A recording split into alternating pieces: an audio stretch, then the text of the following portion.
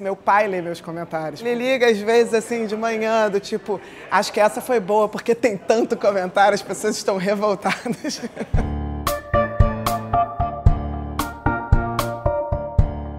O comentarista da Folha, a impressão que dá é que muitas vezes está passando por ali. Eu vou dar uma xingada. A presente crítica, cujos argumentos parecem bem arrumados, deveria ser complementada com as correções possíveis. Do contrário, é mero espargimento de pessimismo. Se tem uma coisa que me reconforta com o meu pessimismo é que eu tenho estado certa. Todo o meu pessimismo foi concretizado nos últimos dois anos. Os otimistas estão errando um pouco mais, né? Quantos voos de galinha teremos que dar para que Laura acorde de seu sono ideológico profundo e volte a estudar estudar economia. Estudei um pouco para estar tá escrevendo sobre esse assunto. É, eu não comecei ontem, eu já estou fazendo isso há algum tempo. Sei lá, graduação, mestrado e doutorado em economia. Ainda que mesmo se eu não tivesse, eu teria direito perfeito direito de opinar, como eu acho que é o seu caso. A professora pró-cotista, pró-racista, anti-brancos e asiáticos e socialista deveria reconhecer que o forte dos comunistas definitivamente não é a análise econômica, mas sim a conspiração. Enfim, sou pró-cotista mesmo e defendo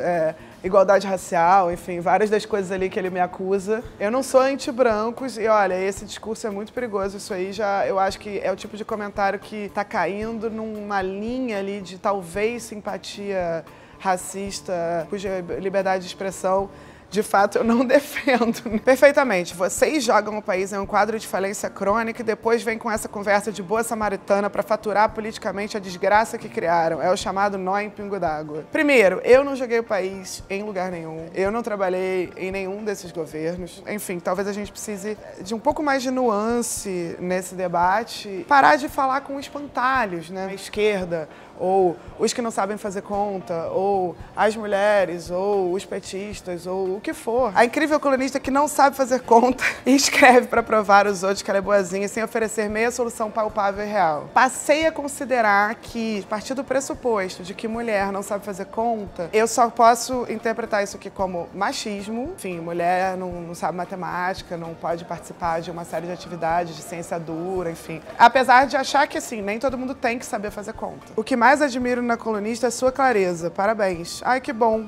É, eu espero ser colunista num país que está indo bem em algum momento, que aí talvez eu não seja tão crítica, inclusive, que agora é tanto retrocesso que a gente acaba tendo que se concentrar em resistir a, a, a coisas ruins ao invés de, de avançar, né?